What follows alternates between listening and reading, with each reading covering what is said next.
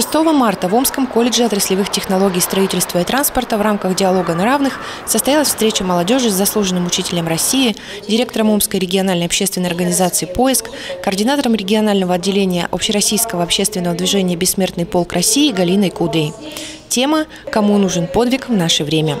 Все, что вы сегодня слышали обо мне, это просто раздвинутые границы того дела, которое я так люблю – я никогда не думала, что у меня будет музей, который я создам, памятные доски, поисковые экспедиции, бессмертный полк. Никогда об этом даже не думала. Я просто делала то, что мне очень-очень нравится. И я вижу сегодня такие молодые лица, когда все в жизни определяется.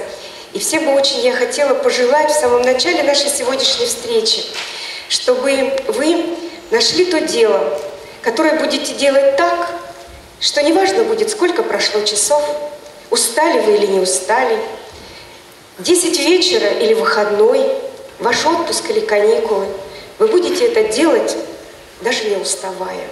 Спикер не только рассказал о поисковых экспедициях, но и показала фотографии с вахт, а также ролик о музее и солдатах, которые защищали Москву во время Великой Отечественной войны. Помимо этого, директор поиска дала ребятам совет, как найти свой путь в жизни, и ответила на вопросы студентов. У меня есть два к вам вопроса. А, первый – это что делать, если у меня нет фотографии фронтовика? И... И второй вопрос, где будет, будет проходить построение бессмертного полка в этом году? 1 апреля стартует, стартуют все наши проекты. Э, смотрите, 1 апреля будет пресс-конференция для журналистов, где мы ответим на вопросы, в том числе на, на эти. 1 апреля в этот же день в 15 часов в библиотеке Пушкина откроется общественная приемная, куда может прийти каждый из вас и прояснить э, путь без вести пропавшего своего. Но мы также готовы принять вас как помощников. Вы можете, если те, которые э, чувствуют э, свою высокую квалификацию э, вот в использовании этих современных технологий, э, мы можем обучить вас э, работать с ОБД мемориал, мемориал, электронная база данных, и вы можете тоже вместе с другими в какой-то день, у нас каждый день для э, своей общественной организации, и приходят люди, и эти студенты оказывают им помощь.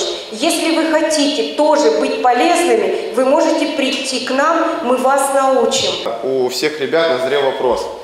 А что нужно для того, чтобы попасть в ряды поисковой, так сказать, поискового отряда? Законный вопрос. Э, конечно, э, наш отряд не, не думал быть таким масштабным по статусу. Мы региональное объединение сейчас. Но, конечно, финансирования у нас нет никакого, и мы работаем в основном с теми студентами, которые учатся у нас. Но поскольку это региональная организация, э, вы имеете право тоже быть с нами. Но для того, чтобы вы получили право выехать в экспедицию, а это значит вам доверят свою жизнь, это все равно, что вы, вас возьмут в разведку. Потому что рядом то, вот, то, что осталось от войны. Поэтому для того, чтобы быть включенным в состав экспедиции, надо быть в наших делах. Вот, надо вот, на Старосеверном кладбище, надо на митингах, надо в наших каких-то проектах, в общественной приемной и так далее. И когда мы увидим, вот, какой вы человек, мы примем вас к себе. Встреча очень была приятная, такая насыщенная, мне очень понравилось, а, потому что я узнала для себя очень многого и интересного. И а, еще я как э, волонтер со школы я сделала так для себя выводы, что я могу не только быть в сфере там животных или людей, я могу также и, искать и помогать, ну, искать людей. И сделала для себя такие выводы, что, э, например, я могу также э, помогать людям, которые просто ищут, либо просто скидывать какую-то информацию в электронном виде.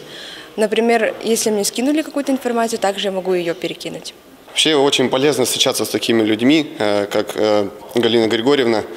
Очень хороший человек, она доказывает нам, нам то, что можно добиться большого успеха не только через бизнес или как, какое-то вложение материальное, но прежде всего это духовное уважение, уважение прежде всего в себя. Задавали вопросы и такие содержательные вопросы.